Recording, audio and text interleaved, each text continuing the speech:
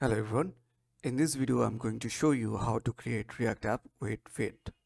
So to do that, first you need to go into the folder that you want to create the app. In this case, I'm going to go to the D folder.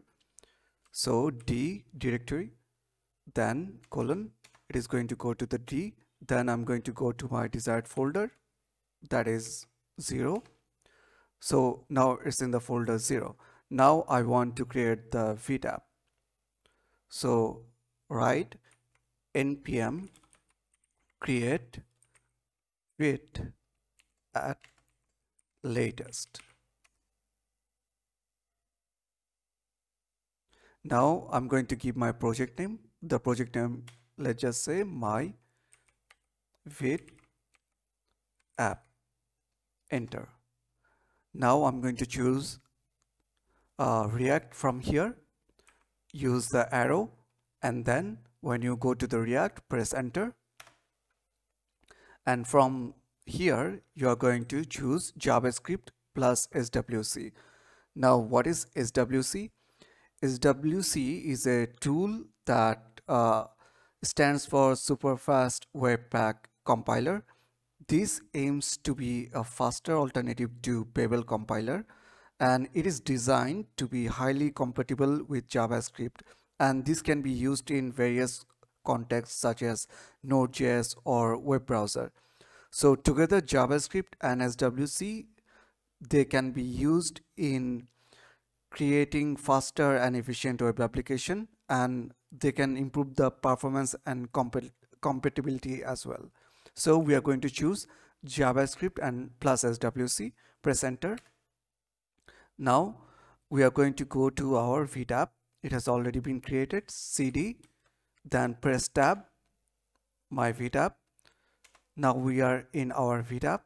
So just write code dot it is going to open up in the VS code let's see how it looks so this is our Vite app now what we are going to do we are going to run mp npm install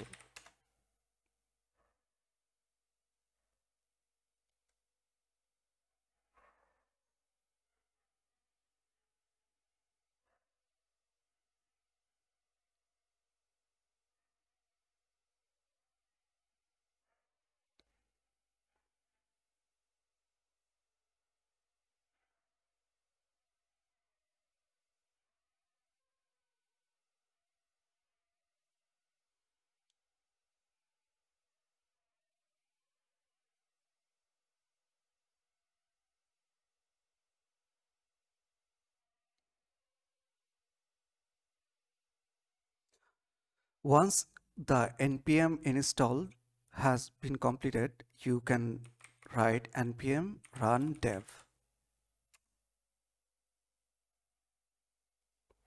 Now we are going to go to our localhost 5173